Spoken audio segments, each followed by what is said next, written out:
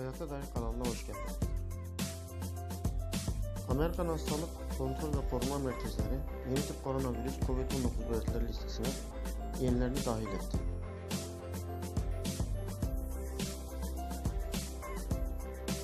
Toplam semptom sayısı 9'a yükseldi.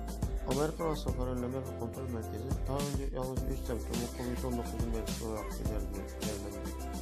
Bunlar ateş, öksürük ve nefes darlığı olarak bildirilmiştir. Ancak son dönemlerde artan hasta sayısıyla hastalığın belirtileri açısından yeni bulgular elde edilmeye başlandı. Bunun üzerine tavsiyelerini güncelleyen merkez, semptom listesine 6 yeni belirti ekledi.